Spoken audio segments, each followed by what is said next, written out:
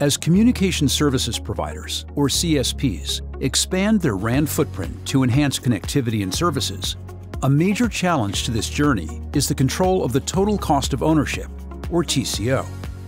Deploying new RAN sites not only means costs associated with investments on equipment, but also an increase in day-to-day operations costs. Where energy consumption in the RAN accounts for a significant part of this OpEx. So as CSPs transform their networks to deliver on these promises of bandwidth and connectivity, they see in RAN programmability an opportunity to apply innovation to solve this difficult cost-related problem.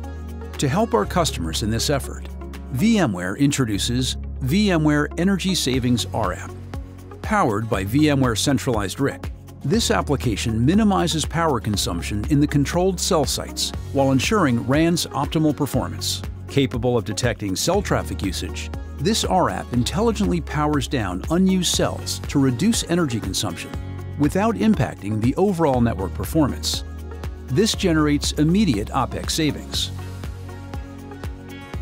Here's how it is done. In this demonstration, we're going to show how the VMware Energy Savings rApp monitors sectors composed of one coverage carrier and four capacity carriers and how it issues cell activation deactivation instructions to these capacity cells based on the traffic conditions and performance requirements.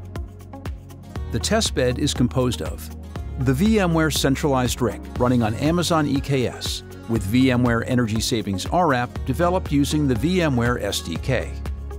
The VMware RIC Management System, or RMS, responsible for configuring and monitoring the health and performance of RICs and rApps.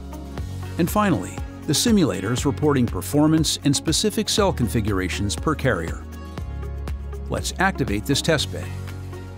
First, we validate that VMware Centralized RIC and VMware Energy Savings rApp are running. Then, we log into VMware RMS, the RIC management system, to check on the status and health of the RIC and the rApp. The RMS shows a healthy VMware Centralized RIC that is controlling a large cluster of cell sites, as shown on the map. Each cell is identified by an ID and the type of frequency band used. Clicking on Applications in the RMS GUI, we see the inventory of applications, XApps and RApps available. To complete the validation of our testbed, we open the VMware Energy Savings rApp and we verify the attributes of the application and its health. It all looks good. Let's activate the algorithm and check the results. The activity logs of the Energy Savings R app show that the application is active and has been ingesting performance and configuration counters from the monitored cells for an entire day and issuing indications about the activation or inactivation of the capacity cells. Using the performance view, we can zoom in on a particular cell site and visualize the impact of the R app on the activation-deactivation states of a capacity cell. In this demo, we will focus on 5G or NR frequency bands. As shown, each one of our sectors has five NR frequency bands. One used for coverage, band 28, and the other four used for capacity. The map shows three sectors per cell site, with five carriers per sector. The inner ring represents the coverage carrier, and the outer rings represent the four capacity carriers.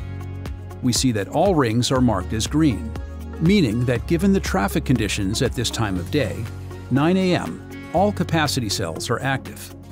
However, looking at a time of day when traffic is low, like 11 p.m., we see some of the outer rings changing color to gray, indicating that some of the capacity cells have been turned off, following the instructions from the VMware Energy Savings rApp.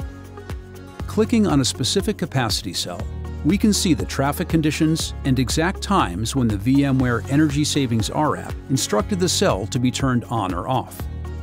The bottom chart shows the number of UE connections, user traffic, reported to the R app via the RIC at any given time. The top chart shows the percentage of energy saving at any given time.